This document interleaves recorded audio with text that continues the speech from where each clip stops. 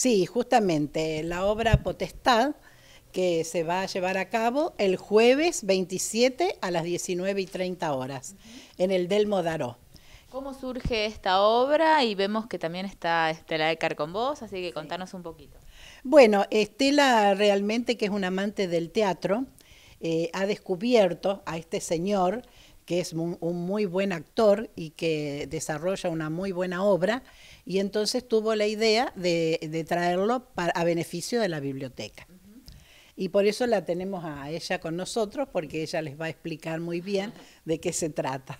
Antes de pasar con Estela, contanos cómo hacemos con las entradas. ¿Se están vendiendo aquí en la biblioteca? Sí, se están vendiendo a 50 pesos en la biblioteca y el que quiera ir va a poder comprarla también en la entrada. Así que mm, si no la pueden adquirir acá, pueden ir directamente el jueves a las 19 y 30 en, el del Modaro. Estela, ¿por qué esta obra para traer aquí a la ciudad de Armstrong?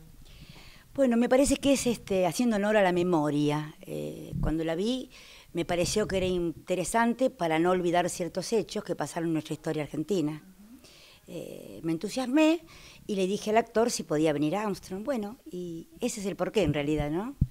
¿Cómo fue tu contacto con este actor? ¿Cómo lo conoces? Y contanos un poquito de, él, eh, quién es y quién la va a estar interpretando. Bueno, por empezar está escrita por Eduardo Tato Pavlovsky. El actor, que se llama Oscar Pérez, también se da de llamar Oscar Tato de tanto que ama a Pavlovsky. Es decir, son muy amigos, ambos son psicoterapeutas, son actores, ambos, el que escribió la obra y el, que, el actor que viene, son médicos, psicoterapeutas, actores, escritores, bueno, se parecen mucho realmente, ¿no?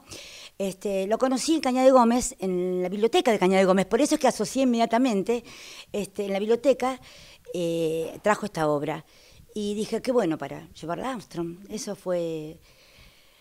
Es un, unipersonal eh, muy interesante porque ahí, eh, como fue el creador del psicodrama, eh, ahí hace un poco de psicodrama, ya vamos a ver en la, obra, mucho no quiero explicar, pero habla de la condición humana, habla de lo que está oculto, habla de las sombras, nos habla cómo descubrir las sombras, y él le llama teatro de choque, porque es el choque de la realidad, ¿no? Cuando uno se encuentra con la realidad hay un choque, ¿no? En, el interior de uno.